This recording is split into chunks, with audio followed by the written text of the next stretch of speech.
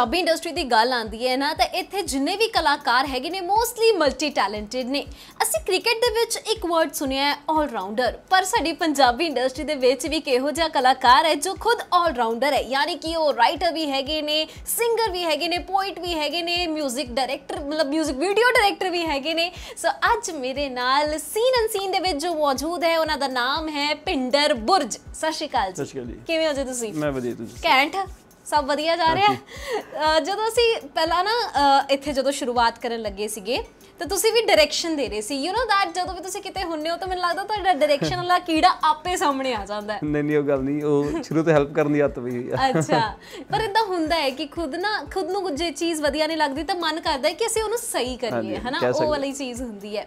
ਮੇਰਾ ਇੱਕ ਤੁਹਾਡਾ ਸਟੇਟਸ ਸੀਗਾ ਮੈਂ ਉਹ ਜ਼ਰੂਰ ਪੜਾਂਗੀ ਇਹ ਚ ਸੀਗਾ ਡਿਗਰੀ ਨੂੰ ਅੱਗ ਲਾਤੀ। ਅਹ ਚੱਕ ਬੇਬੇ ਚੁੱਲੇ ਪਾਤੀ। ਬਹੁਤ ਪੁਰਾਣਾ ਹੈ ਕਲਾਕਾਰੀ ਹਿੱਸੇ ਵਿੱਚ ਆ ਗਈ ਜੱਟ ਦੇ।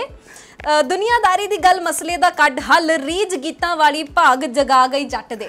ਪਹਿਲਾਂ ਤਾਂ ਆ ਦੱਸੋ ਕਿਹੜੀ ਡਿਗਰੀ ਨੂੰ ਅਗ ਲਈ ਤੁਸੀਂ? ਸੱਚੀ ਬਹੁਤ ਪੁਰਾਣਾ ਹੈ ਮੈਨੂੰ ਯਾਦ ਨਹੀਂ ਸੀ ਤੁਸੀਂ ਇਹਦੀ ਗੱਲ ਕਰੋਗੇ। ਬੇਸਿਕਲੀ ਮੈਂ ਬੀਟੈਕ ਕੀਤੀ ਹੋਈ ਹੈ। ਅੱਛਾ। ਹਾਂ ਤੇ ਕਹਿ ਸਕਦੇ ਹੋ ਨਹੀਂ ਲਾਈਕ ਉਹਦੇ ਚ ਮੈਨੂੰ ਨਹੀਂ ਕੁਝ ਇੱਧਰ ਹੀ ਗਏ ਫਿਰ। ਓਕੇ ਹਾਂ ਤੇ ਇਹ ਸੀਗਾ ਇੱਕ ਗਿਰਾ ਜਦੋਂ ਜਿਹੜੀ ਸਾਡੇ ਵਾਲੀ ਜਨਰੇਸ਼ਨ ਆ ਮੈਨੂੰ ਲੱਗਦਾ 50-60% ਆਰਟਿਸਟ ਨੇ ਜਿਹੜੇ ਬੀਟੈਕ ਤੋਂ ਆਏ ਹੋਏ ਨੇ। ਜੀ ਤੇ ਉਦੋਂ ਤੱਕ ਐਵੇਂ ਸੀਗਾ ਆਪਣੇ ਸੋਸਾਇਟੀ 'ਚ ਕਿ ਸਕੋਪ ਕਿਹੜੀ ਚੀਜ਼ ਦਾ ਆ ਉਹਦੇ ਵੱਲ ਜਾਓ। ਫਿਰ 3 ਇਡੀਅਟ ਮੂਵੀ ਆਈ ਸੀਗੀ।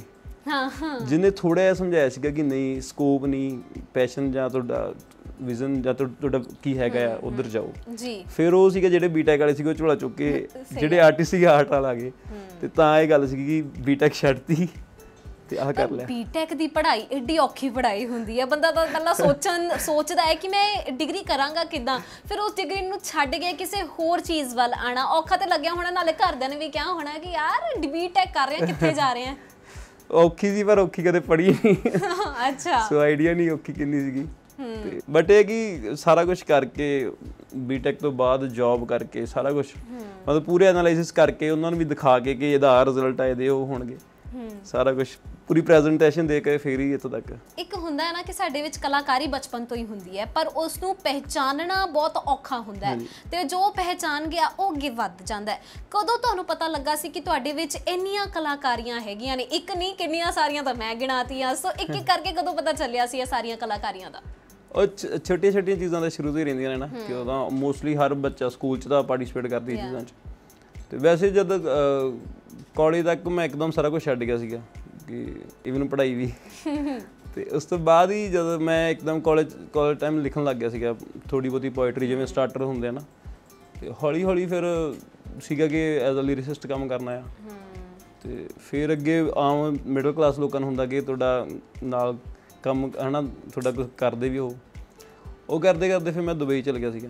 ਮੈਨੂੰ ਇੱਕ ਇੰਟਰਵਿਊ ਤੇ ਜੌਬ ਮਿਲ ਗਿਆ ਸੀਗਾ ਉੱਥੇ। ਸੇਲਸ ਦੇ ਆਪਰੇਸ਼ਨ 'ਚ ਮੈਂ ਜੌਬ ਕਰਦਾ ਸੀਗਾ। ਤੇ ਮੈਨੂੰ ਸੀਗਾ ਕਿ ਮੈਂ ਆਰਟਿਸਟ ਰਹਿਣਾ ਚਾਹੀਦਾ ਨਾ ਸਾਰੀ ਜ਼ਿੰਦਗੀ। ਕਿ ਮੈਨੂੰ ਕੋਈ ਜੇ ਜਾਣੇ ਤੇ ਉਹਨੂੰ ਐ ਹੋਵੇ ਕਿ ਉਹ ਕਲਾਕਾਰ ਆ। ਤੇ ਮੈਂ ਸੋਚਿਆ ਕਿ ਕੁਝ ਵੀ ਕਰਦੇ ਹੋਏ ਤੁਸੀਂ ਲਿਖ ਤਾਂ ਸਕਦੇ ਹੋ। ਤੇ ਲਿਖਣ ਲਈ ਤੁਸੀਂ ਕੱਲ ਨੂੰ ਆਪਣੀ ਇੱਕ ਦੋ ਚਾਰ ਕਿਤਾਬਾਂ ਪਬਲਿਸ਼ ਕਰ ਦਿਓ। ਤੁਹਾਨੂੰ ਲੋਕ ਕਲਾਕਾਰ ਜਾਣਨਗੇ। ਫਿਰ ਮੈਂ ਆਪਣੀ ਸ਼ਾਇਰੀ ਤੇ ਕੰਮ ਕਰਨਾ ਸ਼ੁਰੂ ਕਰਤਾ। ਫਿਰ ਉਹਦਾ ਨਾਂ ਡਿਸਾਈਡ ਕੀਤਾ ਮੈਂ ਬੁੱਕ ਦਾ ਬੇਕਦਰੇ ਅਲਫਾਜ਼। ਅੱਛਾ। ਫਿਰ ਮੈਂ ਉਹ ਛੋਟੀ ਜਿਹੀ ਅਨਾਉਂਸਮੈਂਟ ਇੱਕ ਇੰਸਟਾਗ੍ਰam ਪੇਜ ਬਣਾ ਲਿਆ ਕਿ ਇੱਥੇ ਮੈਂ ਆਪਣੀ ਸ਼ਾਇਰੀ ਪਾਉਂਗਾ ਇਹ ਮੇਰੀ ਬੁੱਕ ਦਾ ਨਾਮ ਆ। ਫਿਰ ਉੱਤੇ ਮੈਨੂੰ 2-4 ਮਹੀਨੇ 'ਚ ਹੀ ਇੰਨਾ ਜ਼ਿਆਦਾ ਇਹੋ ਜਿਹੇ ਮੈਸੇजेस ਆਏ ਕਿ ਮੈਨੂੰ ਮਜਬੂਰ ਹੋਣਾ ਪਿਆ ਕਿ ਨਹੀਂ ਮੈਂ ਸ਼ਾਇਦ ਕਰ ਸਕਦਾ। ਹਾਂ।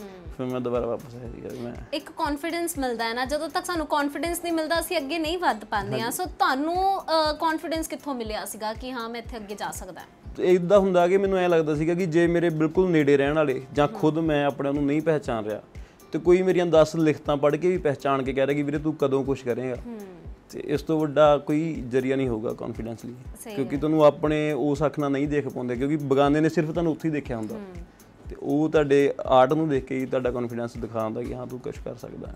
ਜਦੋਂ ਇੰਨੇ ਸਾਰੇ ਟੈਲੈਂਟਸ ਹੁੰਦੇ ਨੇ ਸੋ ਤੁਸੀਂ ਕਿਸ ਨੂੰ ਸਭ ਤੋਂ ਜ਼ਿਆਦਾ ਪ੍ਰਾਇੋਰਟੀ ਦਿੰਦੇ ਹੋ? ਲਾਈਕ ਮੈਂ ਤੁਹਾਨੂੰ ਦੱਸਿਆ ਕਿ ਮੈਂ ਸਿਰਫ ਆਪਣੇ ਉਹਨਾਂ ਆਰਟਿਸਟ ਲਾ ਕੇ ਰੱਖਣਾ ਚਾਹੁੰਦਾ ਸੀਗਾ। ਅੱਛਾ ਹੂੰ। ਤੇ ਉਹ ਫਿਰ ਆਰਟ ਕੁਝ ਵੀ ਹੋਵੇ। ਮਤਲਬ ਇੱਕ ਹੁੰਦਾ ਨਾ ਆਪਣਾ ਪਰਸਨਲ ਫੇਵਰਿਟ ਉਹ ਕਿਹੜਾ ਆ ਤੁਹਾਡਾ? ਮਤਲਬ ਰਾਈਟਿੰਗ ਤੋਂ ਸ਼ੁਰੂ ਹੋਇਆ ਜਦੋਂ ਮੈਂ ਲਿਖਦਾ ਸੀਗਾ ਜੇ ਮੈਂ 2 ਦਿਨ ਕੁਝ ਵਧੀਆ ਨਹੀਂ ਲਿਖਿਆ ਤੇ ਮੈਨੂੰ ਸਾਰਾ ਕੁਝ ਵਿਗੜਿਆ ਹੋਇਆ ਨਜ਼ਰ ਆਉਂਦਾ ਸੀਗਾ, ਕਿ ਐਂ ਲੱਗਦਾ ਹੁੰਦਾ ਸੀ ਕਿ ਹੁਣ ਵੀ ਕੁਝ ਹੋ ਜਾਣਾ ਹੁਣ ਵੀ ਕੁਝ ਹੋ। ਜਾਣਾ ਰਾਈਟਿੰਗ ਦੀ ਵਜ੍ਹਾ ਨਾਲ ਹੀ ਮੈਂ ਡਾਇਰੈਕਸ਼ਨ ਚ ਆਇਆ। ਜੀ। ਹਾਂ ਸੋ ਜਿਹੜਾ ਮੇਰਾ ਗੋਡ ਗਿਫਟਡ ਟੈਲੈਂਟ ਉਹਦਾ ਰਾਈਟਿੰਗ ਹੈ ਤੇ ਇੱਕ ਤੁਹਾਡੀ ਇੰਸਟਾਗ੍ਰam ਬਾਇਓ ਮੈਨੂੰ ਬੜੀ ਪਸੰਦ ਆਈ ਸੀ। ਜ਼ਰਾ ਮੈਂ ਪੜ੍ਹਦੀ ਹਾਂ ਇਹ ਚ ਲਿਖਿਆ ਹੋਇਆ ਲੋਕ ਮੇਰੇ ਗੀਤਾਂ ਨੂੰ ਮਣਾ ਮੂੰਹੀ ਪਿਆਰ ਦੇਣਗੇ ਬਸ ਤੂੰ ਗੁੱਸੇ ਗਿਲੇ ਛੱਡ ਕੇ ਇਹਨਾਂ ਚ ਸਮਾ ਜਾ ਕਿਹਨੂੰ ਕਹਿ ਰਹੇ ਹੋ ਕਿ ਇਹਦੇ ਚ ਸਮਾ ਜਾ ਕਿਹਨੂੰ ਕਹਿ ਰਹੇ ਮੈਂ ਵੀ ਜਾਣਨਾ ਚਾਹਨੀ ਆ ਤੇ ਔਖੇ ਸਵਾਲ ਪੁੱਛਦੇ।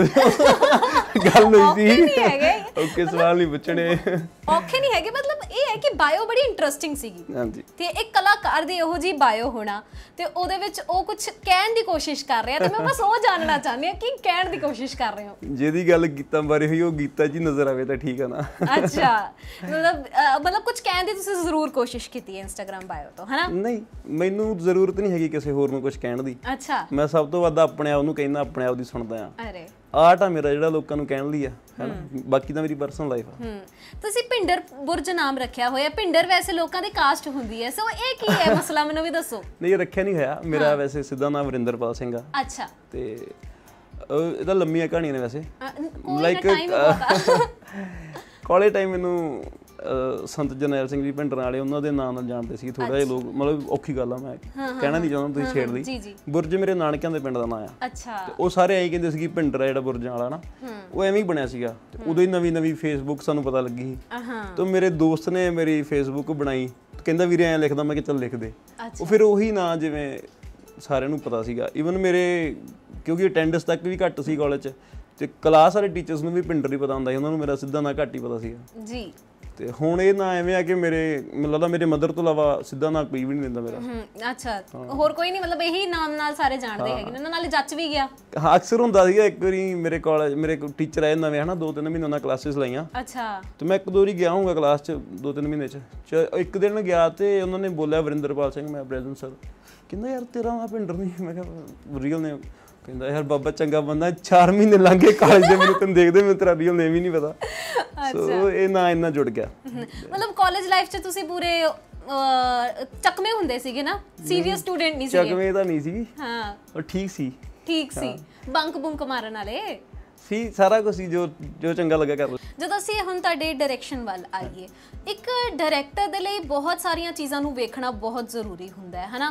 ਤੁਹਾਨੂੰ ਪਹਿਲਾਂ ਕੀ ਲੱਗਦਾ ਹੈ ਕਿ ਜਿਹੜੀ ਡਾਇਰੈਕਟਰ ਹੋਣ ਦੀ ਸਭ ਤੋਂ ਵਧੀਆ ਗੱਲ ਤੁਹਾਨੂੰ ਲੱਗਦੀ ਹੈ ਕਿ ਹਾਂ ਇਸ ਕਰਕੇ ਮੈਂ ਡਾਇਰੈਕਟਰ ਬਣਿਆ ਵਾਂ ਤੇ ਇਹ ਚੀਜ਼ ਮੈਨੂੰ ਇਸ profession ਦੀ ਸਭ ਤੋਂ ਵਧੀਆ ਲੱਗਦੀ ਹੈ? ਡਾਇਰੈਕਟਰ ਹੋਣੀ ਯਾਰ ਸਾਰੀਆਂ ਗੱਲਾਂ ਔਖੀਆਂ ਹੀ ਹੁੰਦੀਆਂ ਨੇ। ਔਖੀਆਂ ਹੀ ਨੇ। ਪਰ ਜਦ ਕਿਉਂਕਿ ਹਰ ਸ਼ੂਟ ਬਹੁਤ ਟਫ ਹਾਲਾਤਾਂ 'ਚ ਹੁੰਦਾ ਆ। ਅੱਛਾ। ਕਿ 100 200 ਬੰਦੇ ਦੇ ਕਰੂ ਨੂੰ ਮੈਨੇਜ ਕਰਨਾ ਇਨ ਟਾਈਮ ਤੁਸੀਂ ਸ਼ੂਟ ਪੂਰਾ ਕਰਨਾ ਇਨ ਬਜਟ ਚੀਜ਼ਾਂ ਕਰਨੀਆਂ। ਤੇ ਉਸ ਤੋਂ ਬਾਅਦ ਵਧੀਆ ਵੀ ਕਰਨਾ। ਕਲਾਇੰਟ ਨੂੰ ਖੁਸ਼ ਕਰਨਾ ਉਹਦੇ ਪ੍ਰੋਡਿਊਸਰ ਨੂੰ ਖੁਸ਼ ਕਰਨਾ ਉਹਦੀ ਆਡੀਅנס ਨੂੰ ਖੁਸ਼ ਕਰਨਾ। ਸਾਰਾ ਕੁਝ ਬਹੁਤ ਮਤਲਬ ਇੱਕ ਲੰਬੀ ਕੜੀ ਆ। ਤੇ ਸਭ ਤੋਂ ਵਧੀਆ ਤੇ ਇਹੀ ਲੱਗਦਾ ਕਿ ਜਦੋਂ ਤੁਸੀਂ ਵਧੀਆ ਸ਼ੂਟ ਕਰ ਦਿੰਦੇ ਹੋ। ਹੈਨਾ? ਕਿਉਂਕਿ ਆਲਮੋਸਟ ਸਾਨੂੰ 3-4 ਵੱਜ ਜਾਂਦੇ ਆ ਸਵੇਰ ਦੇ ਸ਼ੂਟ ਖਤਮ ਹੁੰਦੇ ਆ ਕਈ ਵਾਰੀ ਇਵਨ ਸਵੇਰੇ ਸ਼ੁਰੂ ਕੀਤਾ ਤਾਂ ਅਗਲੇ ਦਿਨ 6 ਵੱਜ ਜਾਂਦੇ ਆ। ਉਦੋਂ ਸਾਰਾ ਕੁਝ ਬਾਡੀ ਛੱਡ ਗਈ ਹੁੰਦੀ ਹੈ ਬਟ ਇੱਕ ਰਿਲੈਕਸੇਸ਼ਨ ਦਾ ਸੌਂ ਜਾਈਦਾ ਕਿ ਹਾਂ ਵਧੀਆ ਹੋਇਆ। ਵਧੀਆ ਸੋ ਇਹੀ ਚੀਜ਼ਾਂ ਨੇ ਵਧੀਆ ਲੱਗਣ ਲਈ ਤਾਂ। ਤੁਸੀਂ ਮਤਲਬ ਜਦੋਂ ਡਾਇਰੈਕਸ਼ਨ ਵੱਲ ਜਾਂਦੇ ਹੋ ਤੁਹਾਨੂੰ ਟਾਈਮ ਚੰਗਾ ਚਾਹੀਦਾ ਹੁੰਦਾ ਹੈ ਕਿ ਤੁਸੀਂ ਮਤਲਬ ਕਦੇ-ਕਦੇ ਪ੍ਰੈਸ਼ਰ ਆ ਜਾਂਦਾ ਹੈ ਨਾ ਪ੍ਰੋਡਿਊਸਰ ਵੱਲੋਂ ਕਿ ਇਹ ਮੈਨੂੰ 2 ਦਿਨਾਂ 'ਚ ਚਾਹੀਦਾ ਹੈ ਇਹ ਮੈਨੂੰ ਕੰਮ ਪੂਰੀ ਤਰ੍ਹਾਂ ਚਾਹੀਦਾ ਕਿਉਂਕਿ ਗਾਣੇ ਹੁੰਦੇ ਨੇ ਕਿ ਅੱਜ ਲਿਖਿਆ ਤੇ ਕਈ ਕਹਿ ਦਿੰਦੇ ਨੇ ਸਾਨੂੰ ਇਹ 2 ਦਿਨਾਂ 'ਚ ਕੱਢਣਾ ਹੈ। ਸੋ ਤੁਹਾਡੇ ਨਾਲ ਵੀ ਆਫ ਕੋਰਸ ਇਦਾਂ ਦੇ ਕੋਈ ਪ੍ਰੋਜੈਕਟ ਆਏ ਹੋਣੇ ਆ ਫਿਰ ਤੁਸੀਂ ਕੀ ਉਸ ਟਾਈਮ ਕਰਦੇ ਹੋ? ਲਾਈਕ ਜਦੋਂ ਪਹਿਲਾਂ ਨਹੀਂ ਸੀਗਾ ਮੈਂ ਇਸ ਚੀਜ਼ ਨੂੰ ਈਜ਼ੀ ਹੱਥ ਨਹੀਂ ਹਨਾ ਕਰ ਦਿੰਦਾ ਕਿ ਨਹੀਂ ਹਨਾ ਤੇ ਜਿਹੜੇ ਮੇਰੇ ਲਈ ਆਏ ਉਹ ਮੈਨੂੰ ਉਹ ਚਾਂਸਸ ਮੇਰੇ ਲਈ 골ਡਨ ਚਾਂਸਸ ਬਣੇ। ਹੂੰ। ਲਾਈਕ ਮੈਂ ਬੱਦਲਾਂ ਦੇ ਕਾਲ ਜਿਵੇਂ ਕਰਿਆ ਅੱਛਾ। ਬੰਟੀ ਬੈਂਸ ਵੀਰੇ ਨੇ ਮੈਨੂੰ ਸ਼ਾਮੀ ਜਿੱਦਾਂ ਅੱਜ ਰਾਤ ਨੂੰ ਸਾਡੀ ਗੱਲ ਹੋਈ ਕੱਲ ਸ਼ਾਮ ਨੂੰ ਆਪਾਂ ਸ਼ੂਟ ਕਰ ਰਹੇ ਹਾਂ। ਹੂੰ। ਤੇ ਸਰਤਾਜ ਭਾਈ ਦਾ ਗਾਣਾ ਜਿੱਦਾਂ ਪਹਿਲਾਂ ਮੈਂ ਕੀਤਾ ਸੀਗਾ ਕਲਾਮਾਂ ਚੜਦੀਆਂ ਹੂੰ ਹੂੰ ਉਹ ਅੱਜ ਸਾਡੇ ਤਿੰਨ ਫੋਨ ਆਇਆ ਕਿ ਵੀਰੇ ਕਿੱਥੇ? ਮੈਂ ਕਿਹਾ ਜੀ ਅੰਮ੍ਰਿਤਸਰ ਚੱਲਿਆ ਮੇਰਾ ਸ਼ੂਟ ਆ। ਕਹਿੰਦਾ ਵੀਰੇ ਮੈਂ ਕਿਹਾ ਆ ਤੇ ਮੇਰੀ ਇੱਜ਼ਤ ਰੱਖਣੀ ਆ। ਮੈਂ ਕਿਹਾ ਕੀ ਹੋ ਗਿਆ? ਕਹਿੰਦਾ ਪਹਿਲਾਂ ਹਾਂ ਕਰ ਹਨਾ ਐਵੇਂ ਜਿਵੇਂ ਯਾਰੀ ਦੋਸਤੀ ਦੀ ਟਾਕ ਹੁੰਦੀ। ਮੈਂ ਕਿਹਾ ਵੀਰੇ ਦੱਸੋ। ਮੈਂ ਕਿਹਾ ਚਲ ਹਾਂ ਦੱਸੋ। ਕਹਿੰਦਾ ਸ਼ੂਟ ਕਰਨਾ ਆ। ਅੱਛਾ। ਤੇ ਕੱਲ ਹੀ ਕਰਨਾ ਆ। ਮੈਂ ਕਿਹਾ ਕੱਲ ਹੀ ਕਰਨਾ ਮੈਂ ਕਿਹਾ ਜਾਦੂ ਥੋੜੀ ਆ। ਤੇ ਮੈਂ ਕਿਹਾ ਕਿੰਨਾ ਦਾ ਕਹਿੰਦਾ ਭਾਜੀ ਦਾ ਸਤਿੰਦਰ ਸਰਦਾਰ ਜੀ ਦਾ।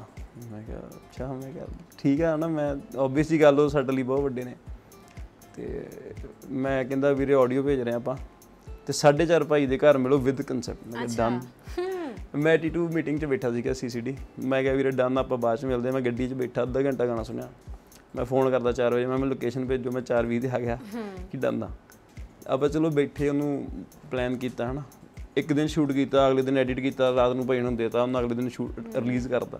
ਸੋ ਐਵੇਂ ਚੀਜ਼ਾਂ ਹੁੰਦੀਆਂ ਨੇ। ਜੀ। ਤੇ ਜਦੋਂ ਤੁਸੀਂ ਟਫ ਚੈਲੰਜਸ ਅਸੈਪਟ ਕਰਦੇ ਹੋ ਤਿਆਰੀ ਨਾਲ ਫਿਰ ਉਹਦਾ ਰਿਜ਼ਲਟ ਵਧੀਆ ਆ ਜਾਂਦਾ ਆ। ਇੱਕ ਹੁੰਦਾ ਹੈ ਨਾ ਕਿ ਸਾਡੀ ਪੰਜਾਬੀ ਇੰਡਸਟਰੀ ਦੇ ਵਿੱਚ ਬਹੁਤ ਰਿਪੀਟੇਟਿਵ ਹੋ ਜਾਂਦੀਆਂ ਨੇ ਕਦੇ-ਕਦੇ ਜਦੋਂ ਅਸੀਂ ਡਾਇਰੈਕਸ਼ਨ ਕਰਦੇ ਹਾਂ। ਐਜ਼ ਅ ਡਾਇਰੈਕਟਰ ਬਹੁਤ ਔਖਾ ਹੁੰਦਾ ਹੈ ਕਿ ਅਸੀਂ ਹੁਣ ਨਵਾਂ ਕੀ ਲੈ ਕੇ ਆਣਾ ਹੈ ਕਿ ਲੋਕਾਂ ਨੂੰ ਇਹ ਨਾ ਲੱਗੇ ਕਿ ਹਾਂ ਇਹ ਤਾਂ ਰਿਪੀਟੇਟਿਵ ਚੀਜ਼ਾਂ ਹੀ ਕਰ ਰਹੇ ਨੇ। ਸੋ ਲੋਕੇਸ਼ਨਸ ਨੂੰ ਲੈ ਕੇ ਬਹੁਤ ਜ਼ਿਆਦਾ ਔਖ ਹੁੰਦੀ ਹੈ। ਜਦੋਂ ਫਿਲਮ ਬਣਦੀ ਹੈ ਤਾਂ ਉਦੋਂ ਤਾਂ ਪੂਰੀ ਤਰ੍ਹਾਂ ਦੇ ਨਾਲ ਲੋਕੇਸ਼ਨਸ ਨੂੰ ਚੰਗੀ ਤਰ੍ਹਾਂ ਦੇਖਿਆ ਜਾਂਦਾ ਹੈ ਹਨਾ? ਜਦੋਂ ਹੁਣ ਵੀਡੀਓ ਇੱਕ ਵੀਡੀਓ ਬਣਾ ਰਹੇ ਆ ਤਾਂ ਉਸ ਸਮੇਂ ਲੋਕੇਸ਼ਨਸ ਵਗੈਰਾ ਦੇਖਣੀਆਂ ਹੁੰਦੀਆਂ ਨੇ। ਸੋ ਤੁਸੀਂ ਤੁਹਾਨੂੰ ਨਹੀਂ ਲੱਗਦਾ ਕਿ ਕਿਤੇ ਨਾ ਕਿਤੇ ਜਦੋਂ ਤੁਸੀਂ ਇਹ ਚੀਜ਼ਾਂ ਕਰਦੇ ਹੋ ਪੰਜਾਬੀ ਇੰਡਸਟਰੀ ਦੇ ਵਿੱਚ ਤੁਹਾਡਾ ਵਿਜ਼ਨ ਜਿਹੜਾ ਹੁੰਦਾ ਉਹ ਕਿਤੇ ਰਿਸਟ੍ਰਿਕਟ ਵੀ ਹੋ ਜਾਂਦਾ ਹੈ? ਤੁਸੀਂ ਤਿੰਨ ਚਾਰ ਸਵਾਲ ਇਕੱਠੇ ਕਰਤੇ। ਚਲੋ ਇੱਕ ਇੱਕ ਕਰਕੇ ਜਵਾਬ ਦੇ ਦਿਓ। ਚਲੋ ਮੈਂ ਇੱਕ ਪੁੱਛਦੀ ਹਾਂ। ਮੈਂ ਦੱਸਦਾ। ਹਾਂ। ਜਿਹੜੀ ਆਲੀ ਰਿਪੀਟ ਹੋਣ ਵਾਲੀ ਗੱਲ ਆ ਇਹ ਅਕਸਰ ਹੁੰਦਾ ਸਾਰਿਆਂ ਨਾਲ ਹੁੰਦਾ ਸਾਡੇ ਨਾਲ ਵੀ ਹੁੰਦਾ ਨਾ ਸਾਰਿਆਂ ਨਾਲ ਹੀ ਹੁੰਦਾ ਜਿੱਦਾਂ ਹੁਣ ਅਸੀਂ ਡਿਫੈਂਡ ਕੀਤਾ ਸੀਗਾ ਜਾਰਡਨ ਵੀਰੇ ਦਾ ਗਾਣਾ ਹਨਾ ਇੱਥੋਂ ਪਤਾ ਲੱਗਦਾ ਜੱਟ ਦੀ ਚੜਾਈ ਆ। ਉਹਦੀ ਵੀਡੀਓ ਇੰਨੀ ਅਸੈਪਟ ਹੋਈ ਕਿ ਮੈਨੂੰ ਲੱਗਦਾ ਉਹਦੀ ਰੈਫਰੈਂਸ ਤੇ ਕਾਫੀ ਹੋਰ ਵੀਡੀਓਜ਼ ਬਣ ਗਏ ਨਾ। ਅੱਛਾ। ਤੇ ਫਿਰ ਐ ਹੁੰਦਾ ਹੋਰ ਕੋਈ ਸੇਮ ਟਾਈਪ ਦੇ ਜਨਰ ਦੇ ਗਾਣੇ ਨਾਲ ਹਨਾ ਅਪਰੋਚ ਕਰਦਾ ਤੇ ਉਹ ਕਹਿੰਦਾ ਵੀਰੇ ਯਾਰ ਉਹ ਵੀਡੀਓ ਸੀਗਾ ਨਾ ਉਵੇਂ ਦਾ ਆਪਾਂ ਕੁਝ ਕਰਨਾ। ਹੂੰ ਤੇ ਸ਼ਾਇਦ ਉਹ ਪਲਾਨਡ ਹੀ ਹੁੰਦਾ ਉਹਦਾ ਮਾਈਂਡ ਕਿ ਆਪਾਂ ਐਵੇਂ ਕਰਨਾ। ਉਹਨੂੰ ਕੁਝ ਹੋਰ ਆਈਡੀਆ ਦਿੰਦਾ ਕਹਿੰਦਾ ਨਹੀਂ ਵੀਰੇ ਯਾਰ ਉਵੇਂ ਦਾ ਕੁਝ ਹਨਾ। ਸੋ ਕਈ ਵਾਰੀ ਇਹੋ ਜਿਹੇ ਸਿਨੈਰੀਓ 'ਚ ਤੁਸੀਂ ਚੀਜ਼ਾਂ ਰਿਪੀਟ ਕਰਦੇ ਹੋ।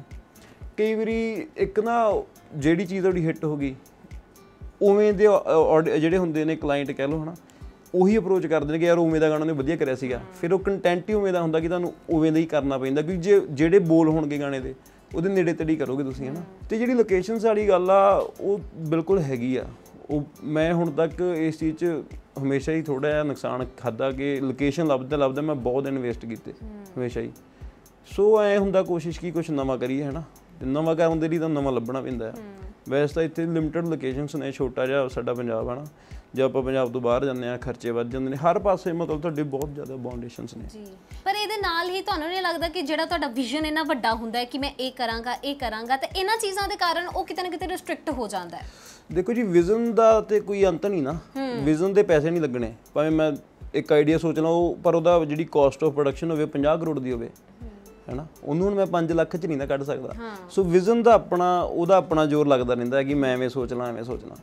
ਉਹ ਅਲੱਗ ਚੀਜ਼ ਆ। But according to budget according to client according to ਆਪਣੀ ਕੰਟੈਂਟ ਉਹ ਜੋ ਡਿਜ਼ਾਈਨ ਕਰਨਾ ਉਹ ਅਲੱਗ ਚੀਜ਼ ਆ। ਜੀ। ਹੁਣ ਜਦੋਂ ਮੇਰਾ profession ਇੱਕ ਐਂਕਰ ਦੇ ਤੌਰ ਤੇ ਹੈ ਤੇ ਮੈਂ ਹੋਰ ਵੀ ਚੀਜ਼ਾਂ ਜਿੱਦਾਂ ਦੇਖਦੀ ਰਹਿੰਦੀ ਆ ਕਿ ਮੈਨੂੰ ਕਿੱਥੋਂ ਵਧੀਆ ਕੰਮ ਮਿਲ ਸਕਦਾ। ਮਤਲਬ ਜਿੱਦਾਂ ਕੋਈ ਹੋਰ ਐਂਕਰ ਨੂੰ ਮੈਂ ਦੇਖਦੀ ਆ ਜਾਂ। ਫਿਰ ਕਿਸੇ ਹੋਰ ਦੇ ਕੰਮ ਨੂੰ ਦੇਖਾਂਗੀ। ਸੋ ਤੁਹਾਡੇ ਲਈ ਕਿਹੜਾ ਹੁੰਦਾ ਹੈ ਕਿ ਬਾਲੀਵੁੱਡ ਜਾਂ ਹਾਲੀਵੁੱਡ ਦੇ ਵਿੱਚ ਕਿਸ ਦੇ ਕੰਮ ਨੂੰ ਦੇਖਦੇ ਹੋ ਜੋ ਤੁਹਾਨੂੰ ਪਸੰਦ ਹੁੰਦਾ ਤੇ ਤੁਸੀਂ ਸੋਚਦੇ ਹੋ ਕਿ ਕਦੇ ਮੈਂ ਇਹ ਲੈਵਲ ਪਾਰ ਕਰਨਾ ਹੈ? ਅਸੀਂ ਇੰਨੀਆਂ ਚੀਜ਼ਾਂ ਚ ਉਲਝੇ ਹੁੰਦੇ ਕਿ ਸਾਡੇ ਲੈਵਲ ਨੂੰ ਤਾਂ ਸਾਨੂੰ ਸਮਝ ਹੀ ਨਹੀਂ ਆਉਂਦੇ ਹਨਾ? ਇੱਕ ਟਾਈਮ ਤੇ ਐ ਸੋਚਦੇ ਐਵੇਂ ਹੋਵੇ ਉਵੇਂ ਹੋਵੇ ਬਟ ਪ੍ਰੈਕਟੀਕਲੀ ਐਵੇਂ ਹੁੰਦਾ ਕਿ ਸਾਨੂੰ ਪ੍ਰੈਜ਼ੈਂਟ ਚੋਂ ਲੰਘਣਾ ਹੁੰਦਾ ਹੈਨਾ? ਤੇ ਜਿਹੜਾ ਕੰਮ ਦੇਖਣ ਵਾਲੀ ਗੱਲ ਆ ਉਹ ਮੈਨੂੰ ਲੱਗਦਾ ਕਿ ਹੁਣ ਜੇ ਤੁਸੀਂ ਐਫਟੀਆਈ ਪੁੰਨੇ ਜਾਂਦੇ ਹੋ ਉਹ ਤੁਹਾਨੂੰ ਫਲॉप ਤੋਂ ਫਲॉप ਮੂਵੀ ਦਿਖਾਉਂਦੇ ਆ। ਗੰਦੀ ਤੋਂ ਗੰਦੀ ਬਣੀ ਹੋਈ ਮੂਵੀ ਦਿਖਾਉਂਦੇ ਆ। ਅੱਛਾ। ਉਹ ਤਾਂ ਦਿਖਾਉਂਦੇ ਕਿ ਤੁਸੀਂ ਆ ਨਹੀਂ ਕਰਨਾ ਇਹਦੇ 'ਚ ਆ ਵੀਕ ਆ। ਤੇ ਉਹ ਹਾਰਡ ਤੋਂ ਹਾਰਡ ਵਧੀਆ ਤੋਂ ਵਧੀਆ ਮੂਵੀ ਵੀ ਦਿਖਾਉਂਦੇ ਆ ਕਿ ਇਹਦੇ 'ਚ ਆ ਖਾਸ ਸੀਗਾ। ਸਮਝਦੇ ਹੋ? ਸੋ ਹਰ ਕੰਮ ਦੇਖਣਾ ਪੈਂਦਾ ਆ। ਈਵਨ ਜਿਹੜੀ ਕੰਟਰੀ ਦਾ ਸਾਨੂੰ ਪਤਾ ਵੀ ਨਹੀਂ ਅਸੀਂ ਉਹਨਾਂ ਦੀਆਂ ਵੀ ਲਿਸਟਾਂ ਕੱਢਦੇ ਆ। ਉਹਨਾਂ 'ਚੋਂ ਡਾਇਰੈਕਟਰ ਜਾਂ ਸਿੰਗਰ ਕੱਢਦੇ ਆ ਕਿ ਉਹਨਾਂ ਦਾ ਵੇਖਣ ਦਾ ਨਜ਼ਰੀਆ ਕੀ ਆ। ਅੱਛਾ।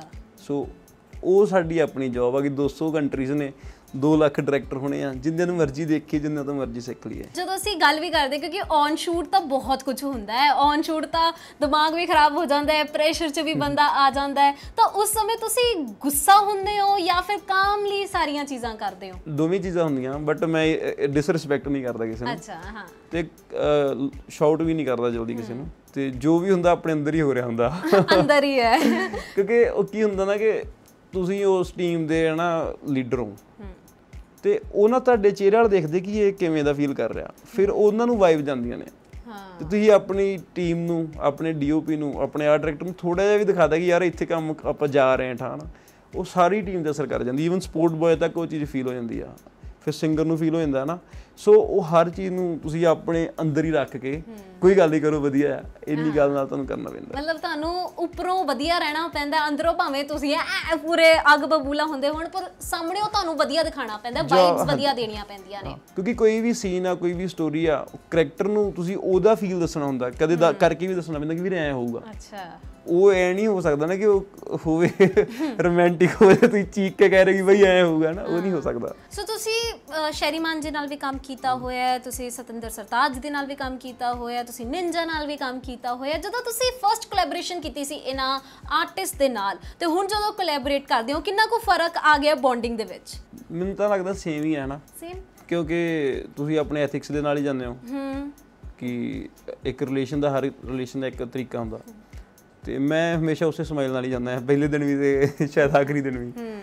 ਸੋ ਉਹ ਸੇਮ ਹੀ ਆ। ਬਸ ਜਦੋਂ ਜਦੋਂ ਤੁਹਾਡੀਆਂ ਆਪਸੀ ਮੇਲ ਜੋਲ ਵੱਧਦਾ ਜਾਂਦਾ ਆ ਕੁਝ ਚੀਜ਼ਾਂ ਹਨਾ ਅੰਡਰਸਟੈਂਡਿੰਗ 'ਚ ਫ਼ਰਕ ਪੈ ਜਾਂਦਾ ਕਿ ਤੁਹਾਨੂੰ ਅਗਲੇ ਦੀਆਂ ਚੀਜ਼ਾਂ ਸਮਝ ਆਉਂਦੀਆਂ ਆਪਣੀਆਂ ਸਮਝ ਆਉਂਦੀਆਂ। ਸੋ ਰਿਲੇਸ਼ਨ ਵਧੀਆ ਹੁੰਦੇ ਜਾਂਦੇ ਨੇ ਹਮੇਸ਼ਾ। ਇੱਕ ਆਰਟਿਸਟ ਨੂੰ ਵੀ ਤੁਹਾਡੇ ਤੇ ਕੌਨਫੀਡੈਂਸ ਹੋ ਜਾਂਦਾ ਹੈ ਹਨਾ।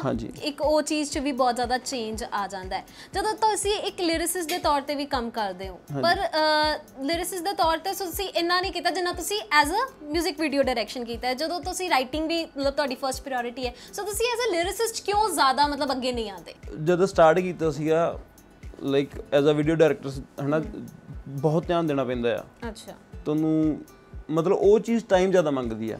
ਉਹਦੇ 'ਚ ਮੈਂ ਬਿਜ਼ੀ ਹੁੰਦਾ ਹੈ ਕਿ ਮੇਰੇ ਕੋਲ ਲਿਖਣ ਦਾ ਟਾਈਮ ਨਹੀਂ ਰਹਿੰਦਾ। ਤੇ ਮੈਂ ਬਹੁਤ ਲਿਮਟਿਡ ਲਿਖਦਾ ਜਿੰਨੇ ਲਿਖੇ ਹੁੰਦੇ ਆ ਉਹਨੇ ਕੋਈ ਨਾ ਕੋਈ ਲੈ ਜਾਂਦਾ। ਅੱਛਾ। ਹਾਂ ਤੇ ਜੇ ਮੇਰੇ ਕੋਲ ਟਾਈਮ ਹੋਵੇ ਬਹੁਤ ਸਾਰੇ ਗਾਣੇ ਲਿਖਣ ਲਈ ਤੇ ਫਿਰ ਸ਼ਾਇਦ ਉਹ ਵੀ ਬਹੁਤ ਸਾਰੇ ਹੋਣ।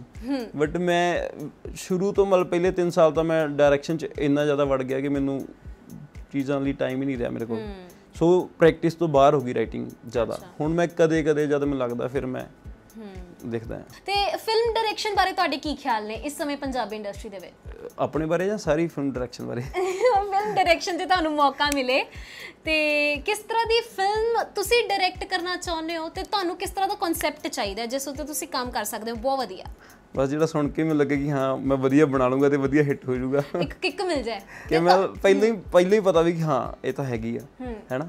ਇਹ ਨਹੀਂ ਕਿ ਚਲੋ ਭਾਜੀ ਠੀਕ ਲੱਗ ਰਹੀ ਆਪਾਂ ਵਧੀਆ ਬਣਾ ਲਾਂਗੇ ਹੋ ਜਾਊਗਾ ਉਹ ਨਹੀਂ। ਨਹੀਂ ਸਕ੍ਰਿਪਟ ਵਧੀਆ ਹੋਣੀ ਚਾਹੀਦੀ ਹੈ ਤਾਂ ਹੀ ਤੁਸੀਂ ਅੱਗੇ ਉਹਦੇ ਨਾਲ ਕੰਮ ਕਰੋਗੇ। ਜਨਰ ਸ਼ਾਇਦ ਕੋਈ ਵੀ ਹੋਵੇ ਬਟ ਇਹ ਹੈ ਕਿ ਮੈਨੂੰ ਲੱਗਦਾ ਕਿ ਜਿਹੜਾ ਆਊਗਾ ਉਹ ਮੇਰਾ ਜਨਰ ਨੂੰ ਪਹਿਲਾਂ ਦੇਖ ਕੇ ਆਊਗਾ ਕਿ ਇਹ ਕਿਵੇਂ ਦਾ ਕੰਮ ਕਰਦਾ। ਬਟ ਆਰਟਿਸਟ ਤਾਂ ਸਾਰਾ ਕੁਝ ਕਰ ਲੈਂਦਾ ਹੁੰਦਾ ਬਟ ਲੋਕਾਂ ਦੀ ਜੱਜਮੈਂਟ ਉਹਦੇ ਲਈ ਕੁਝ ਹੋਰ ਹੁੰਦੀ ਆ। ਵੈਬ ਸੀਰੀਜ਼ ਨੂੰ ਲੈ ਕੇ ਤੁਸੀਂ ਕੀ ਸੋਚਦੇ ਹੋ ਕਿ ਤੁਸੀਂ ਵੀ ਡਾਇਰੈਕਟ ਕਰ ਸਕਦੇ ਹੋ ਕਦੇ? ਉਹ ਫਿਲਹਾਲ ਤਾਂ ਮੇਰਾ ਧਿਆਨ ਨਹੀਂ ਹੈਗਾ। ਨਹੀਂ। ਹਾਂ ਮੈਂ ਨਹੀਂ ਚਾਹੁੰਦਾ। ਐਕਚੁਅਲ ਚ ਨਹੀਂ ਚਾਹੁੰਦਾ। ਬੇਸਿਕਲੀ ਗੱਲ ਉਹੀ ਹੈ ਕਿ ਤੁਹਾਨੂੰ ਤੁਹਾਨੂੰ ਵੱਧ ਕੰਮ ਹਨਾ ਕਦੇ ਚ ਮਜ਼ਾ ਆ ਰਿਹਾ। ਜੇ ਮੇਰੇ ਕੋਲ ਵਧੀਆ ਗਾਣੇ ਆ ਰਿਹਾ ਤੇ ਫਿਰ ਮੇਰਾ ਉਧਰ ਧਿਆਨ ਹੋਣਾ ਚਾਹੀਦਾ ਆ। ਜਦ ਮੇਰੇ ਕੋਲ ਵਧੀਆ ਸਟੂਡੀਓ ਹੋਊਗੀ ਵੈਬ ਸੀਰੀਜ਼ ਦੀ ਵਧੀਆ ਹਨਾ ਆਰਟਿਸਟ ਹੋਣਗੇ ਮੇਰੇ ਕੋਲ ਫਿਰ ਸ਼ਾਇਦ ਮੈਨੂੰ ਲੱਗੂਗਾ। ਬਟ ਕੋਈ ਵੀ ਚੀਜ਼ਾਂ ਨੂੰ ਤੁਹਾਨੂੰ ਵਧੀਆ ਟਾਈਮ ਦੇਣਾ ਪੈਂਦਾ 뮤직 ਵੀਡੀਓ ਡਾਇਰੈਕਟਰ ਐਦਾ ਸ਼ੁਰੂ ਕਰ ਰਹੇ ਹੋ ਤੁਹਾਨੂੰ ਸਾਲ 2 ਸਾਲ ਦੇਣੇ ਪੈਂਦੇ ਉਸ ਚੀਜ਼ ਲਈ। ਜੇ ਮੈਂ ਕਿਉਂਕਿ ਉਹ ਉਹ ਡਾਇਰੈਕਟਰਸ ਅਲੱਗ ਨੇ ਇਹ ਅਲੱਗ ਨੇ। ਹਾਂਜੀ। ਐਵੇਂ ਨਹੀਂ ਹੈਗਾ ਕਿ ਇਹਨੇ ਇੱਥੇ ਵੀ ਐਕਸ਼ਨ ਕਹਿ ਲੈਣਾ ਇਹਨੇ ਉੱਥੇ ਵੀ ਐਕਸ਼ਨ ਕਹਿ ਲੈਣਾ। ਉਹਦਾ ਬਿਲਕੁਲ ਫ਼ਰਕ ਆ। ਜੀ। ਤੇ ਉਹਦੇ ਲਈ ਫਿਰ ਮੈਨੂੰ ਪਹਿਲਾਂ ਸਟਾਰਟ 6 ਮਹੀਨੇ ਸਾਲ ਉਹਨੂੰ ਸਮਝਦੇ ਲੱਗਣਗੇ। ਸਮਝਣ ਨੂੰ ਹਲੇ ਲੱਗਾ। ਤੁਸੀਂ ਕੀ ਸੋਚਦੇ ਹੋ ਕਿ ਇਸ ਸਮੇਂ ਕਿਉਂਕਿ ਪੰਜਾਬੀ ਇੰਡਸਟਰੀ ਨੂੰ ਅਸੀਂ ਦੇਖ ਰਹੇ ਹਾਂ ਨਾ ਗਰੋ ਕਰ ਰਹੀ ਹੈ। ਜਿਹੜੇ ਹੁਣ ਡਾਇਰੈਕਟਰਸ ਹੈਗੇ ਨੇ ਉਹਨਾਂ ਨੂੰ ਵੀ ਪਹਿਚਾਨ ਮਿਲ ਰਹੀ ਹੈ। ਹੁਣ ਅਸੀਂ ਐਗਜ਼ਾਮਪਲ ਲੈ ਲਈਏ ਸੁਖ ਸੰਗੇੜਾ ਜਗਦੀਪ ਸਿੱਧੂ। ਲੋਕੀ ਜਾਣਦੇ ਨੇ। ਹੁਣ ਤੁਸੀਂ ਕੀ ਸੋਚਦੇ ਹੋ ਕਿ ਤੁਸੀਂ ਕਿਹੜੀ ਪੋਜੀਸ਼ਨ ਤੇ ਆ ਗਏ ਹੋ ਪੰਜਾਬੀ ਇੰਡਸਟਰੀ ਦੇ ਵਿੱਚ? ਪੰਜਾਬੀ ਇੰਡਸਟਰੀ ਗਰੋ ਕਰ ਰਹੀ ਹੈ ਤਾਂ ਸੱਚ ਆ ਹਨਾ? ਤੇ ਇਹਦਾ ਸਭ ਨੂੰ ਬਹੁਤ ਫਾਇਦਾ ਹੋ ਰਿਹਾ। ਸਭ ਨੂੰ।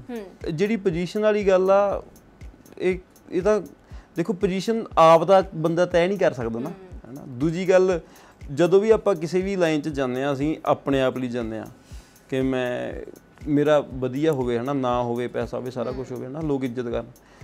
ਉਹ ਤੁਹਾਡੇ ਹਿਸਾਬ ਨਾਲ ਤੁਹਾਨੂੰ ਮਿਲ ਰਹੀ ਆ ਤੇ ਡਾਨਾ ਹਨਾ? ਤੇ ਜਿਹੜੀ ਪੋਜੀਸ਼ਨ ਆ ਉਹ ਖੁਦ ਤਾਂ ਹੋ ਨਹੀਂ ਸਕਦੀ ਨਾ ਤੈ ਕਿ ਸਕੂਲ 'ਚ ਕਲਾਸ 'ਚ ਬੱਚਾ ਅਟਕੇਗਾ ਮੇਰੀ ਪਹਿਲੀ ਪੋਜੀਸ਼ਨ ਆ। ਉਹ ਤਾਂ ਮੈਡਮ ਹੀ ਡਿਸਾਈਡ ਕਰੂਗੀ ਕਿ ਤੇਰੀ ਕਿਹੜੀ ਆ। ਸੋ ਉਹ ਨਹੀਂ ਕੁਛ ਹਨਾ? ਇੱਕ ਸਿੰਗਰ ਨੂੰ ਹੁੰਦਾ ਕਿ ਜਦੋਂ ਉਹਦਾ ਗਾਣਾ ਔਨ ਲੂਪ ਚੱਲਦਾ ਹੈ ਤਾਂ ਪਤਾ ਲੱਗ ਜਾਂਦਾ ਕਿ ਗਾਣਾ ਹਿੱਟ ਆ। ਹਨਾ? ਹਰ ਇੱਕ ਦਾ ਆਪਣਾ ਆਪਣਾ ਐਸਪੈਕਟ ਹੁੰਦਾ ਹੈ ਇਹ ਸੋਚਣ ਦਾ ਕਿ ਉਹਨੂੰ ਲੱਗਦਾ ਹੈ ਕਿ ਹਾਂ ਇਹ ਜਿਹੜਾ ਗਾਣਾ ਹੈ ਇਹ ਸਕਸੈਸਫੁਲ ਹੋ ਚੁੱਕਿਆ ਹੈ। ਸੋ ਐਜ਼ ਜਦੋਂ ਤੁਹਾਡਾ ਆਂਦਾ ਹੈ profession ਆਂਦਾ ਹੈ ਐਜ਼ ਅ ਵੀਡੀਓ ਡਾਇਰੈਕਟਰ ਤਾਂ ਤੁਹਾਡੇ ਲਈ ਕੀ ਹੈ ਕਿ ਜਦੋਂ ਤੁਹਾਨੂੰ ਲੱਗਦਾ ਹੈ ਕਿ ਹਾਂ ਇਹ ਗਾਣਾ ਹਿੱਟ ਹੈ? ਹਾਂਜੀ। ਕਿ ਮਤਲਬ ਇਹ ਗਾਣੇ ਨੂੰ ਐਜ਼ ਅ ਵੀਡੀਓ ਪਸੰਦ ਕੀਤਾ ਗਿਆ ਇਹ ਤੁਹਾਨੂੰ ਕਦੋਂ ਪਤਾ ਲੱਗਦਾ ਹੈ? ਕਿਸ ਦੌਰਾਨ ਪਤਾ ਲੱਗਦਾ ਹੈ? ਇਸ ਵੇਲੇ ਨਾ ਪਤਾ ਕੀ ਹੋਗਾ ਕਿ ਆ- ਇੱਕ ਦਿਨ 'ਚ ਵਧੀਆ ਚਾਰ ਚਾਰ ਗਾਣੇ ਆ ਰਹੇ ਆ। ਗਾਣੇ ਦੀ ਏਜ ਹੀ ਬਹੁਤ ਛੋਟੀ ਹੋ ਗਈ ਨਾ ਲਿਮਿਟ ਹੋ ਗਈ ਕਿ ਇੱਕ ਸਿੰਗਰ ਨੂੰ ਹਰ ਮਹੀਨੇ ਇੱਕ ਗਾਣਾ ਦੇਣਾ ਹੀ ਪੈਣਾ ਆ। ਤੇ ਵੀਡੀਓ ਡਾਇਰੈਕਟਰ ਨੂੰ ਤਾਂ ਚਾਰ ਦੇਣੇ ਪੈਣੇ ਆ। ਤੇ ਚੌਂ 'ਚ ਇੱਕ ਦਾ ਵਧੀਆ ਦੇਣਾ ਹੀ ਪਊਗਾ। ਉਹ ਕੋਈ ਪੈਰਾਮੀਟਰ ਕਿਤੇ ਨਾ ਕਿਤੇ ਐ ਹੁੰਦਾ ਕਿ ਆਰਟਿਸਟ ਨੂੰ ਆਰਟਿਸਟਾਂ ਨੂੰ ਚਾਰ ਫੋਨ ਕਰਕੇ ਕਹਿੰਦਾ ਯਾਰ ਵਧੀਆ ਹੋ ਗਿਆ ਵਧੀਆ ਕਾਲ ਆ ਰਿਹਾ ਵੀਡੀਓ ਲਈ ਕਹਿ ਰਹੇ ਨੇ। ਦੋ ਚਾਰ ਕਮੈਂਟ ਪੜ੍ਹ ਲੈਂਦੇ ਹੋ ਚੰਗੇ ਤੁਸੀਂ ਹਨਾ? ਸਭ ਤੋਂ ਵੱਡੀ ਗੱਲ ਹੁੰਦੀ ਕਿ ਚਾਰ ਫੋਨ ਹੋ ਜਾਂਦੇ ਵੀਰੇ ਵੀਡੀਓ ਪਲਾਨ ਕਰਨਾ ਸੀਗਾ। ਅੱਛਾ। ਈਜ਼ੀਲੀ ਉੱਥੋਂ ਪਤਾ ਲੱਗ ਜਾਂਦਾ ਆ। ਤੇ ਬਾਕੀ ਤੁਹਾਨੂੰ ਆਪ ਹੀ ਪਤਾ ਹੁੰਦਾ ਕਿ ਆ ਮੈਂ ਕਿਹੜਾ ਕੰਮ ਕਿਵੇਂ ਦਾ ਕੀਤਾ ਹੈ ਜ਼ਿਆਦਾ ਵਧੀਆ ਆ ਜਾਂ ਠੀਕ ਠੀਕ ਆ। ਸੱਜਣ ਅਦੀਬ ਨਿੰਜਾ ਸ਼ੈਰੀਮਾਨ। ਠੀਕ ਹੈ ਕੌਣ ਕਹਿੰਦਾ ਹੈ ਖਾਣਾ ਪਹਿਲਾਂ ਸ਼ੂਟ ਬਾਅਦ ਚ?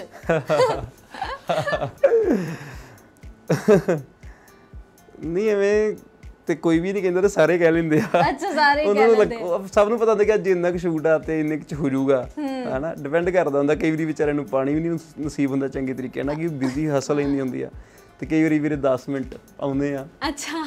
ਉਹ ਸਾਰਿਆਂ ਦਾ ਹੀ ਹੈ ਜੀ। ਤੇ ਉਦੋਂ ਮੈਨੇਜ ਕਿੱਦਾਂ ਕਰਦੇ ਹੋ? ਕਿਉਂਕਿ ਇੰਨਾ ਤਾਂ ਸਾਰਾ ਕ੍ਰਿਊ ਸਾਂਭਣਾ ਹੁੰਦਾ ਫਿਰ।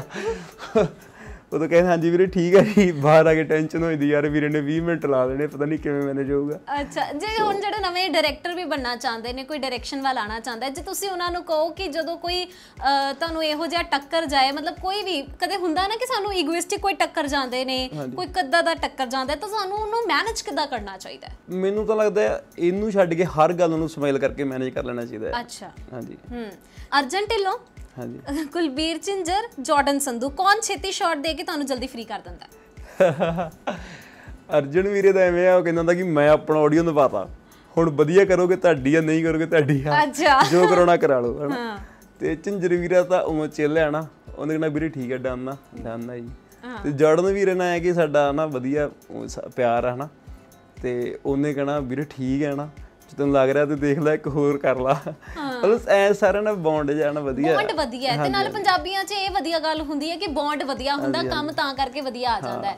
ਤੇ ਤੁਹਾਨੂੰ ਕੀ ਲੱਗਦਾ ਹੈ ਕਿ ਇੱਕ ਗਾਣਾ ਤੁਹਾਡੇ ਜਿੰਨੀ ਵੀ ਅਜੇ ਤੱਕ ਤੁਸੀਂ ਡਾਇਰੈਕਟ ਕੀਤਾ ਹੋਇਆ ਜਿਹੜਾ ਤੁਹਾਨੂੰ ਕਿਸਮਤ ਨਾਲ ਮਿਲਿਆ ਹੈ? ਮੈਨੂੰ ਤਾਂ ਲੱਗਦਾ ਕਿ ਸਾਰਾ ਕੁਝ ਕਿਸਮਤ ਨਾਲ ਹੀ ਮਿਲਦਾ। ਹੈ ਹੈਨਾ ਤੇ ਹੀਲੇ ਰੱਬ ਕਰਦਾ ਹਨਾ? ਸਾਹਮਣੇ ਤੁਸੀਂ ਹੁੰਦੇ ਆ। ਮੈਂ ਮੈਂ ਇਹ ਕਹਿੰਦਾ ਹੁੰਦਾ ਕਿ ਕੋਈ ਵੀ ਚਾਂਸ ਮਿਸ ਨਾ ਕਰੋ। ਕੋਈ ਨਹੀਂ ਪਤਾ ਕਿਹੜਾ ਚਾਂਸ 골ਡਨ ਚਾਂਸ ਹੋ ਜੇ। ਜੀ। ਸੋ ਮੈਨੂੰ ਤਾਂ ਇਹੀ ਲੱਗਦਾ ਕਿ ਸਾਰੇ ਗਾਣੇ ਕਿਸਮਤ ਨਾਲ ਮਿਲੇ ਹਨਾ? ਸਾਰੇ ਗਾਣੇ ਕਿਸਮਤ ਨਾਲ ਹਾਂਜੀ ਮਿਲੇ ਕਿਉਂਕਿ ਮੈਂ ਵੈਰੀ ਫਸਟ ਡੇ ਹੀ ਜਦੋਂ ਆਪਣੀ ਬਾਇਓ ਚ ਪਾਇਆ ਸੀਗਾ ਵੀਡੀਓ ਡਾਇਰੈਕਟਰ ਸੇਮ ਡੇ ਮੇਰੇ ਕੋਲ ਕੁਇਰੀ ਸੀਗੀਆਂ। ਸੇਮ ਡੇ ਤੋਂ ਹੀ ਮੈਂ ਕਹਿ ਲੋ ਕੰਮ ਕਰ ਰਿਹਾ ਵਾਂ ਤੇ ਮੈਨੂੰ ਕਦੇ ਵੇਟ ਨਹੀਂ ਕਰਨੀ ਪਈ ਕਿ ਯਾਰ ਆ ਹੁਣ ਆਪਣੇ ਕੋਲ ਵੀਡੀਓ ਨਹੀਂ ਹੈਗਾ ਲੱਭੀਏ ਜਾਂ ਕੁਝ ਆਪੇ ਹੀ ਆਏ ਨੇ ਸਾਰੇ ਗਾਣੇ ਸੋ ਸਾਰੀ ਕਿਸਮਤ ਨਾਲ ਹੀ ਆਏ ਨੇ। ਇਹਦਾ ਮਤਲਬ ਕਿਸਮਤ ਵਧੀਆ ਕੰਮ ਦੀ ਘਾਟ ਨਹੀਂ ਹੋਈ ਕਦੇ ਵੀ। ਨਹੀਂ ਹੋਈ, ਨਹੀਂ ਆ ਰਾਈਟ ਆਈਬ੍ਰੋ ਦੇ ਇੱਧਰ ਤੁਹਾਡਾ ਟੈਟੂ ਆ ਉਹਦਾ ਕੀ ਮਤਲਬ ਹੈ? ਦਿਖਾਓ ਵੀ ਦੋ ਜ਼ਰਾ ਚੰਗੀ ਤਰ੍ਹਾਂ। ਇਹ ਨਹੀਂ ਇਹ ਨਹੀਂ ਨਾ। ਚੰਗੀ ਤਰ੍ਹਾਂ ਨਹੀਂ ਦਿਖਾਇਆ ਨਾ ਵੀ ਸ਼ਰਟ ਲਾਉਣੀ ਪੈਣੀ ਆ। ਅੱਛਾ। ਆ ਜਿਹੜੇ ਇੱਥੇ ਆ। ਹਾਂਜੀ ਐਕਚੁਅਲ ਚ ਸਾਰੀ ਆ। ਅੱਛਾ। ਹਾਂ ਇਹ ਇਹ- ਬੇਸਿਕਲੀ ਮੈਂ ਬੁੱਕ ਪੜ੍ਹਦਾ ਸੀਗਾ ਰਾਣਾ ਰਣਬੀਰ ਜੀ ਦੀ। ਓਕੇ ਜ਼ਿੰਦਗੀ ਜਿੰਦਾਬਾਦ। ਹੂੰ। ਉਹਦੇ ਚ ਸੀਗਾ ਮਿਤੋਜ ਜੀ ਦਾ ਇੱਕ ਛੋਟੀ ਜਿਹੀ ਲਾਈਨ ਉਹਨਾਂ ਲਿਖੀ ਹੋਈ ਸੀਗੀ ਕਿ ਸ਼ਬਦ ਮੇਰੇ ਕੋਲ ਮੂੰਹ ਲਟਕਾਈ ਆਉਂਦੇ ਨੇ ਤੇ ਮੈਂ ਉਹਨਾਂ ਨੂੰ ਕਬੂਤਰ ਬਣਾ ਦਿੰਦਾ ਆ ਅੱਛਾ। ਤੇ ਇੱਕ ਰਾਈਟਰ ਹੋਣ ਦੇ ਨਾਤੇ ਮੈਨੂੰ ਲੱਗਿਆ ਕਿ ਇੱਕ ਰਾਈਟਰ ਹੈ ਨਾ ਇੱਕ ਕੁਝ ਵੀ ਸ਼ਬਦਾਂ ਨੂੰ ਐਵੇਂ ਜੋੜ ਦਿੰਦਾ ਕਿ ਉਹ ਲੋਕ ਉਹਨੂੰ ਕਈ ਸਾਲ ਤੱਕ ਜਾਂ ਕਈ ਉਮਰਾਂ ਤੱਕ ਯਾਦ ਰੱਖਦੇ ਨੇ ਉਹ ਚਾਹੇ ਰੂਮੀ ਹੋਵੇ ਚਾਹੇ ਵਾਰਿਸ ਹੋਵੇ ਨਾ। ਸੋ ਮੈਨੂੰ ਉਹਦੇ ਥਾਟ ਨਾਲ ਲੱਗਿਆ ਇੱਕ ਮੈਨੂੰ ਵੈਸੇ ਹੀ ਨੇਚਰ ਨਾਲ ਪਿਆਰ ਆ। ਉਹ ਕਿਸੇ ਮੈਨੂੰ ਬਾਅਦ ਚ ਪਤਾ ਲੱਗਾ ਸੀ ਉਹ ਕਿਸੇ ਫੇਮਸ ਪੇਂਟਰ ਦੀ ਪੇਂਟਿੰਗ ਸੀਗੀ। ਉਹ ਮੈਂ ਉਹ ਇੱਥੇ ਉਹਦੀ ਟਰੀ ਦੀ ਰੂਟਸ ਦੇ ਨਾਲ ਗਲੋਬ ਬਣਿਆ ਹੋਇਆ ਧਰਤੀ ਬਣੀ ਹੋਈ ਆ ਉਹਦੇ ਉੱਪਰ ਟਰੀ ਆ ਉਹਦੇ ਚੋਂ 뮤직 ਨੋਟਸ ਕੀ ਹੁੰਦੇ ਜਿਹੜੇ ਉਹ ਤੇ ਬਰਡਸ ਨਿਕਲ ਰਿਹਾ ਤੋਂ ਇੱਥੋਂ ਤੱਕ ਸਾਰੇ ਸੋ ਥੈਂਕ ਯੂ ਸੋ ਮੱਚ ਤੁਹਾਡੇ ਨਾਲ ਗੱਲ ਕਰਕੇ ਬਹੁਤ ਵਧੀਆ ਲੱਗਾ ਮੈਨੂੰ। Thank you